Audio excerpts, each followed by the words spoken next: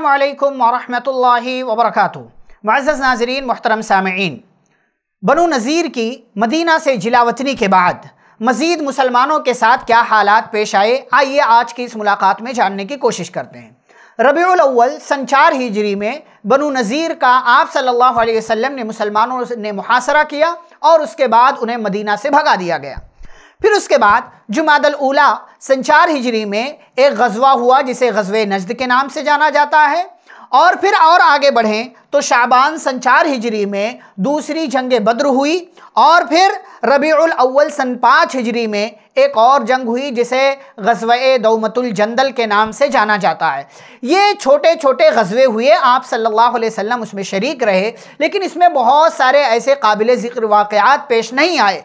लेकिन इन तमाम गज़वों का, इन तमाम लड़ाइयों का फ़ायदा ये हुआ कि मुसलमानों की धाक और नबी सल्लल्लाहु अलैहि वसल्लम का रुब दबदबा काफिरों पर, मुशरिकों पर, दुश्मनों पर बैठ गया और वो लोग पुरसकून हो गए। लेकिन मुसलमानों का एक बड़ा दुश्मन, यहूदी, जिसे सबसे बड़ा दुश्मन अल्लाह रब्बुल आलमीन ने करार दिया है, इन लोगों को सुकून नहीं आया। और ये लोग दसीसाकारी और मक्कारी करते रहे। चुनानचा शवाल के महीने में या उससे पहले सन पाँच हिजरी में बनु नज़ीर जिसे मदीना से भगाया गया था, उसके बीस सरदार गए मक्का में और मक्का के काफिरों से मुलाकात की, साजबाज किया, चालें चली तदबीर किया और मक्का वालों को तैयार कर लिया कि हम तुम्हारे साथ हैं, चलो मिल कर के मुसलमानों का, मदीना वालों का मुकम्मल सफाया कर देते हैं। ये बीस सरदार इन लोगों ने मक्का वालों से मुलाकात की। चुनानचा मक्का वालों ने हामी भर ली तैयार हो गए और मुसलमानों से मुकाबला करने की तैयारियाँ करना शुरू कर दिया। चार हज़ार का लश्कर मक्का के काफिरों की जानब से तैयार हुआ। इधर इधर इन यहूदियों ने या बनु नज़ीर के इन बीस सरदारों ने बनु गतफान के कबाइल से जाकर के मुलाकात की और उन लोगों को भी मुसलमानों पर हमला करने के लिए तैयार कर लिया। ये छः हज़ार का लश्कर हुआ जिसमें मुख्तलिफ़ कबाइल के लोग मौजूद थे। इस तरीके से दुश्मनों का एक दस हज़ार का बड़ा लश्कर तैयार हो गया। दस हज़ार का इतना बड़ा लश्कर अरब ने कभी नहीं देखा था। मदीना की मुकम्मल आबादी को मिला लें, तब भी दस हज़ार की तादाद नहीं बचती है। उसमें मर्द भी, उसमें औरतें भी, उसमें बच्चे भी, उसमें बूढ़े भी। दस हज़ार की तादाद मुकम्मल मदीना की आबादी नहीं थी। और मदीना पर हमला करने के लिए दुश्मनों की जानब से दस हज़ार का लश्कर तैयार होकर के आ रहा था। आप सल्लल्लाहु अलैहि वसल्लम को इसकी खबर मिली। और आप जानते हैं, इस तमाम मरहले को, या इस गजवे को जो होने वाला है, इसे गजव अहजाब कहते हैं। गजव अहजाब इसलिए कहते हैं क्योंकि अहजाब का मतलब होता है जमातें ग्रुप्स टोलियाँ, फ़ौजें, मुख्तलिफ़ कबाइल के लोग, मुख्तलिफ़ इलाके के लोग दुश्मनों के जानब से आए थे, इसलिए इसे गजव अहजाब कहा जाता है। इस गजबे का एक दूसरा नाम है गजव खंदक। खंदक इसका नाम क्यों पड़ा?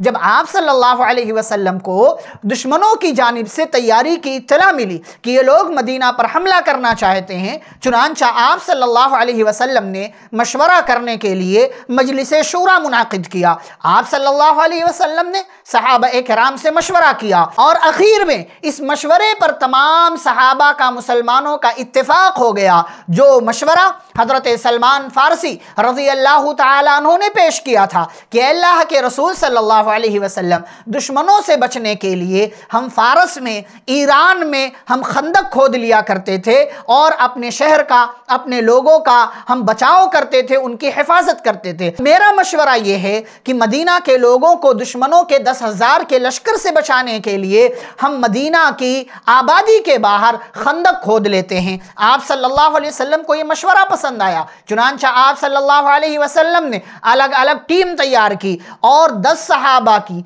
एक टीम को चालीस हाथ खंदक खोदने का हुक्म दिया। हर सहाबी अपना अपना काम करने लगे। प्यारे रसूल सल्लल्लाहु अलैहि वसल्लम भी इस काम में शरीक हुए। नबी सल्लल्लाहु अलैहि वसल्लम मेहनत कर रहे हैं, सहाबा मेहनत कर रहे हैं।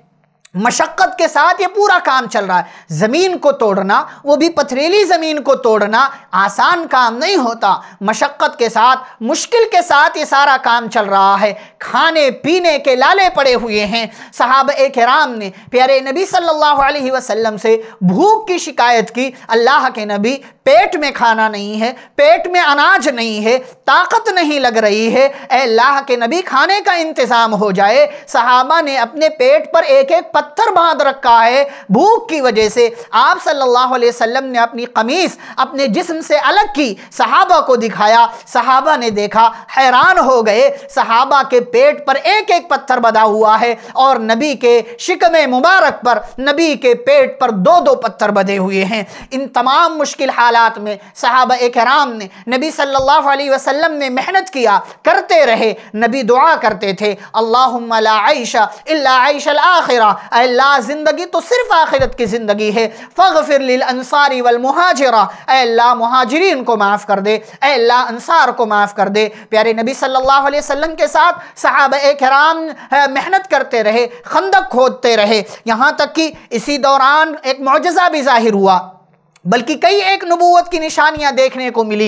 एक मुआजा ये हुआ, जाबिर बिन अब्दुल्ला रदी अल्लाह ने जब देखा, साहब कराम भूख से हैं तो नबी सल्लल्लाहु अलैहि वसल्लम भूख से उन्होंने एक बकरी का बच्चा लिया, उसे ज़बह किया। उनकी बीवी ने एक सा, यानी ढाई किलो जौ का आटा तैयार किया। उसको पीसा, उसको गोधा और उससे उससे रोटी बनाने के लिए वो तैयार हो गई। चुनानचा आप सल्लल्लाहु अलैहि वसल्लम को बुलाया गया कि आप आए, खाना तना तनाउल कर लें, आप आए और अपनी भूख को मिटा लें। नबी सल्लल्लाहु अलैहि वसल्लम अकेले नहीं आए, खंदक खोदने वाले तमाम सहाबा की टीम को आपने बुला लिया और आप ताज्जुब करें। एक हज़ार की तादाद थी खंदक खोदने वालों की।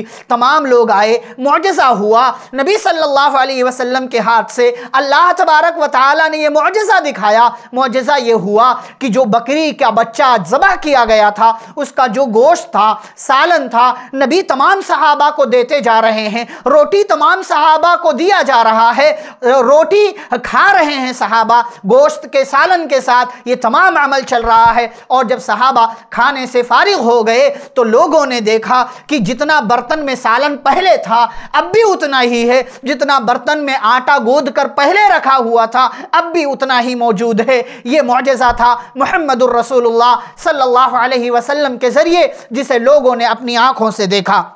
बहरहाल, इन तमाम सहाबा की मेहनत से खंदक तैयार हो गई। काफिरों के आने से पहले खंदक मुकम्मल तौर पर खोद ली गई। और नबी सल्लल्लाहु अलैहि वसल्लम चूँकि जानते थे कि मदीना में सिर्फ़ एक ही तरफ़ से हमला किया जा सकता है, और वो है शिमाल का हिस्सा, वो है शिमाल यानी उत्तर साइड का हिस्सा, बकिया और किसी तरफ़ से मदीना की आबादी पर हमला नहीं किया जा सकता। इसीलिए आप सल्लल्लाहु अलैहि वसल्लम ने सिर्फ़ शिमाल की तरफ़ खंदक खोदने का हुक्म दिया था, और उसी तरफ़ खंदक खोदने का काम किया गया। गया तीन हज़ार का इस्लामी लश्कर तैयार हुआ और तीन हज़ार के इस्लामी लश्कर के तैयार होने के बाद कुफार भी यहाँ मदीना में पहुँच गए और इधर इधर मुसलमान भी तीन हज़ार के लश्कर के साथ तैयार हो गए।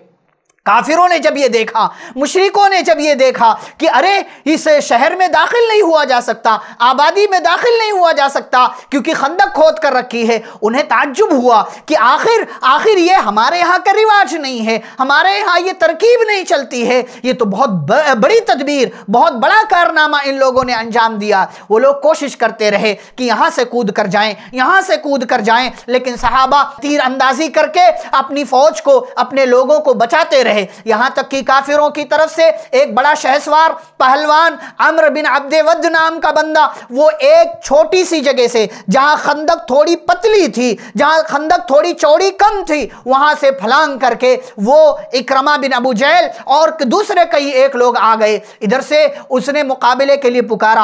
अली रज़ी अल्लाह तु मुकाबले में आए। अभी नौजवान थे। उसने कहा, किसी और को बुलाओ। अली रज़ी अल्लाह ने कहा, नहीं, मैं लड़ूँगा। और उसके बाद अमर बिन अब्देवद ने अपने अपने घोड़े का सर काट दिया। और फिर उसने मुकाबले के लिए अली रज़ी अल्लाह तहों को पुकारा और अली रज़ी अल्लाह तहों ने थोड़ी कोशिश के बाद इस इंसान का काम तमाम कर दिया। और उसके बाद जो लोग और खंदक कूद कर आए थे, वो तमाम लोग भाग गए, किसी तरीके से दूसरी जानब चले गए। इस तरीके से लड़ाई का सिलसिला चलता रहा। लेकिन इस जंग में आगे क्या हालात पेश आए? किस तरीके से मुसलमानों को मजीद दिक्कतों का और परेशानियों का आगे सामना करना पड़ा? और हालात क्या से क्या हो गए इन ये तमाम तफासिल हम अगली मुलाकात में इस गजबे के हवाले से आपके सामने रखेंगे। असलकम वरहमल वर्का